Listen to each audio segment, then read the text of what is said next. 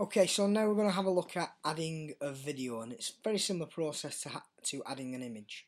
Um, first of all, again, you need to identify which topic box you want to add a video to. Uh, I'm going to add it to the top uh, box, and again, you click on the pencil icon.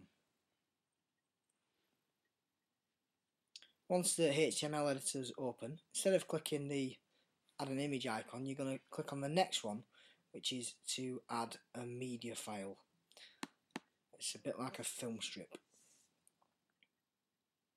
This can be used to upload MP3s, podcasts, videos, uh, or applets as well. Um, so the, there's only one choice for you to look at first of all, and, and that is to click on find or upload a sound video or applet. Number of ways you can do this now. You can upload directly from YouTube. So if I click on the YouTube tab and I search as I would do um, for anything on, on YouTube. So I'm going to click for Thornleigh Moodle. And you'll see these are some of the, the pages, the, the videos that we've uploaded on, our, uploaded on our page. So I'm going to click on this first one. It'll ask me if that's the file I want to select and I'm going to click on select this file. It'll then give me a preview what that file is going to look like. Just the black screen, that's the, the start screen of it. Then I click on insert and it's just the name that appears in your HTML editor bar but importantly this is where you can make sure that you have got the position where you want it so I'm going to center the video and I'm going to click on save changes.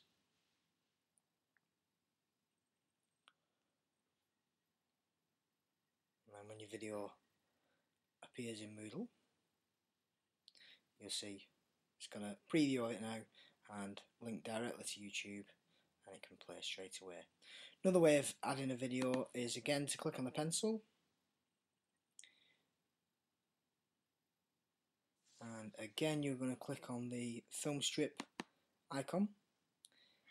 And this time we're going to upload a video that's on our desktop on our computer.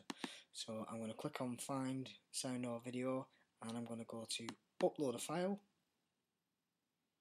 and then just as I would do if I was attaching something to an email I'm going to choose file. I'm going to locate where that file saved. In this instance it's on my desktop and it's called our deepest fear copy. I'm going to press choose and I'm going to upload this file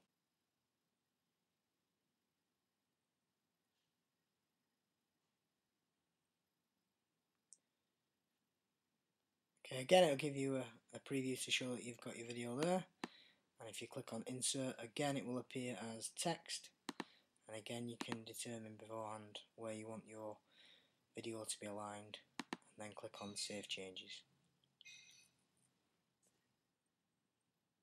You'll see that this video is displayed slightly differently. It's running in QuickTime uh, rather than YouTube so the video appears with its controls at the bottom of the screen. Okay, so that's two ways to upload a video using Moodle.